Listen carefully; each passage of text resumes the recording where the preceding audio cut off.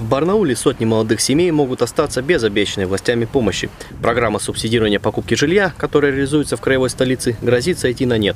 На очереди стоят 6 тысяч молодых семей на получение жилищных сертификатов. Более 200 из них это многодетные семьи. У нас э, несколько десятков человек стоит э, на очереди с 2010 года и более сотни человек у нас стоят на очереди с 2011 года. То есть, представляете, 7-8 лет прошло, изменений практически нет. Очередь уже сократилась на 540 человек. Эти люди, что называется, состарились для помощи. Иными словами, стали старше 35 лет и вылетели из программы.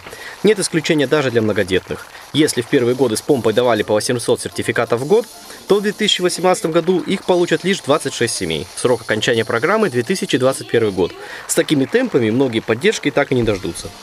Многие люди отчаиваются, многие люди устали верить, устали ждать, то есть устают бороться. Более 200 это многодетные да, семьи, э, тоже вынуждены снимать там небольшую квартирку с четырьмя детьми, мать-одиночка, вот у нас есть пример. В знак протеста барнаульцы при поддержке общественников обратились с письмом к временно исполняющему обязанности губернатора Алтайского края Виктору Томенко.